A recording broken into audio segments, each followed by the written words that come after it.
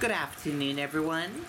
I'm Riley King, and welcome to this afternoon news report right here on the Riley King Network.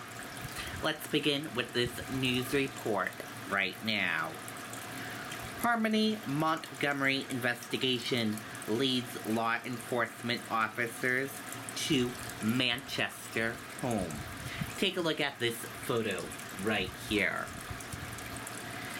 Several law enforcement officers from multiple agencies responded to a Manchester address Tuesday morning in connection with the Harmony Montgomery investigation. WMUR has confirmed. Law enforcement officials from Manchester Police, the U.S. Marshal's Office, the State Attorney General's Office, and the FBI responded to 644 Union Street, where the missing eight year old girl's father, Adam Montgomery, and his wife, Kayla Montgomery, previously lived. Some neighbors have been displaced to allow for this operation.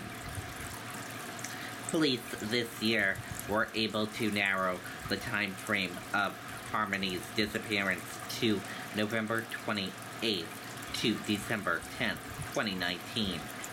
Her disappearance was not reported for more than two years. She was five at the time.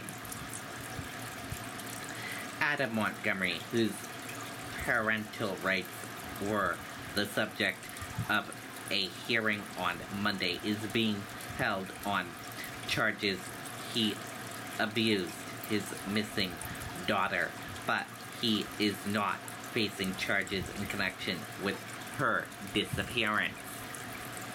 This is a breaking news story. Stay tuned for updates on this. We will keep updated throughout the day as we get more information into our newsroom. That does it for this afternoon news report right here on the Riley King Network. Thank you for watching this afternoon news report. I'm Riley King, reporting for the Riley King Network. Goodbye, everyone.